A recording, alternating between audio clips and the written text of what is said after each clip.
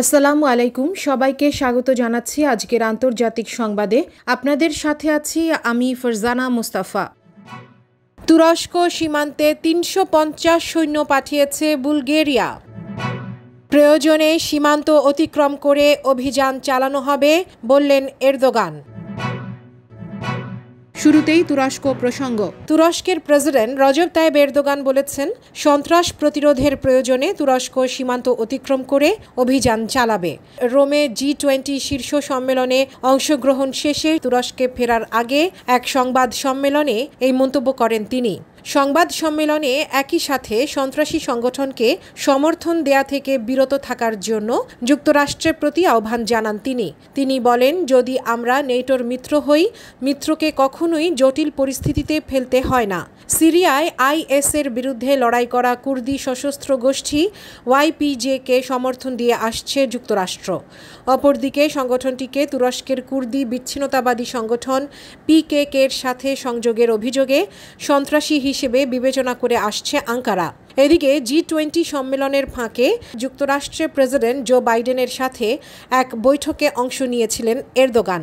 বৈঠকের বিষয়ে সংবাদ সম্মেলনে তুর্কি প্রেসিডেন্ট বলেন, বৈঠকে তারা দুই দেশের মধ্যে অর্থনৈতিক বন্ধন আরও জোরদার করা এবং আফগানিস্তান, সিরিয়া, লিবিয়া ও পূর্ব ভূমধ্যসাগরীয় অঞ্চলে পারস্পরিক সহযোগিতার বিষয়ে আলোচনা করেন।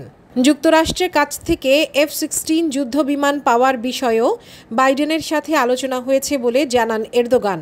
বৈঠকের বিষয়ে তিনি বলেন, আমি কোনো নেতিবাচকতা লক্ষ্য করিনি।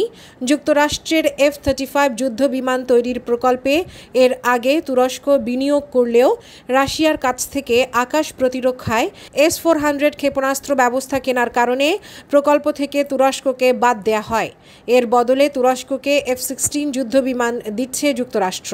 আগামী কয়েক মাসের মধ্যেই এই বিষয়ে দুই দেশের প্রতিরক্ষা মন্ত্রণালয়ের মধ্যে ওয়াশিংটনে বৈঠকের কথা রয়েছে বলে তুর্কি প্রতিরক্ষা মন্ত্রণালয়ের বরাত দিয়ে জানায় তুরস্কের রাষ্ট্রীয় বার্তা সংস্থা আনাদলু এজেন্সি। অন্যদিকে তুরস্ক সীমান্তে অতিরিক্ত তিনশো পঞ্চাশ সৈন্য পাঠিয়েছে প্রতিবেশী বুলগেরিয়া।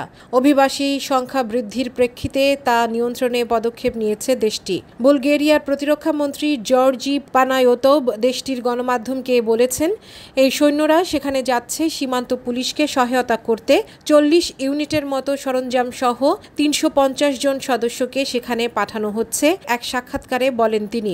দেশটির স্বরাষ্ট্র মন্ত্রণালয়ের হিসাব মতে, গত জানুয়ারি থেকে সেপ্টেম্বর মাস পর্যন্ত সাড়ে ছয় হাজারেরও বেশি লোককে আটক করা হয়েছে অবৈধভাবে অনুপ্রবেশের দায়ে।